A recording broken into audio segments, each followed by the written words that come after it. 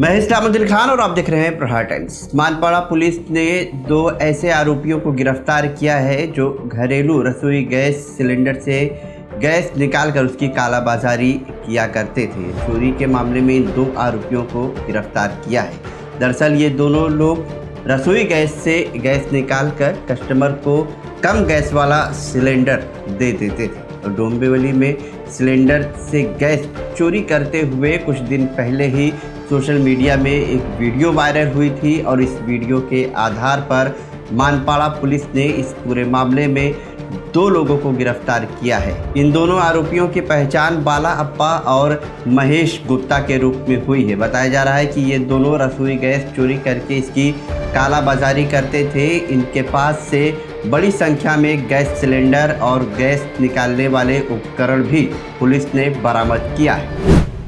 Manpada police अंत अंतर्गत हेदुटणे या गावामध्ये भारत गॅसचा सप्लाय करणारे जे दोन कर्मचारी हे गॅसमधला काही गॅस परस्पर दुसऱ्या गॅसमध्ये शिफ्टिंग करून त्याचा काळा बाजार करीत असल्याबाबत आमचे ए पी आय सूर्यवंशी यांना बातमी मिळाली.